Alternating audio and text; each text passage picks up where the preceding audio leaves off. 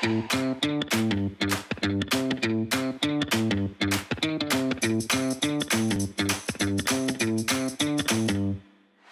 Ben Profesör Doktor Suat Canbay, 1962 Ankara doğumluyum. Tıp Fakültesini Ankara Üniversitesi Tıp Fakültesi'nde bitirdim.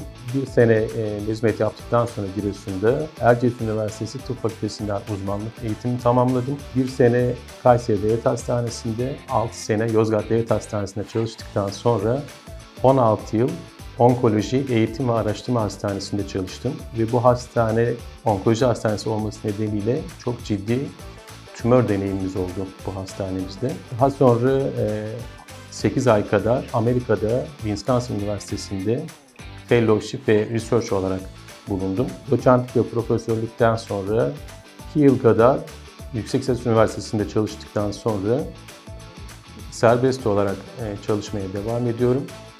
Medikal Park Hastanesi'nde yarı zamanlı olarak çalışıyorum. Benim uzmanlık alanım beyin, omurilik ve sinir cerrahisi. Latince karşılığıyla nöroşirurji. Ancak bu branş içerisinde e, alt bölünmeler, gruplanmalar e, başladı son e, 10-15 yıldır. Benim de özel ilgi alanım omurga ve omurilik cerrahisi. Yani spinal cerrahi, spine surgery. E, Şimdi özel e, sektörde olduğumuz için ortalama e, 140-150 hasta ameliyat ediyoruz. Ancak e, üniversitede ve devlet sektöründeyken bu ameliyat sayımız yıllık ortalama 700-800 civarındaydı. E, şu an için e, özel sektörde rakamlar biraz daha düşük tabii. Öncelikle ilgili branşa gidebilmeleri lazım. Tabii ki bu hastanın primer sorumluluğunda olan bir şey değil. Ama hangi meslektaşımıza giderse, onun ilgi alanında değilse, ilgi alanı olan hekime yönlendirmesinde e, fayda var. Onun ötesinde e, bu meslek sonuç olarak e, bir deneyim mesleği, yani bir usta-çırak ilişkisi. E, deneyim sahibi e, hekim, hekimlere gitmesini tabii ki tavsiye ederiz.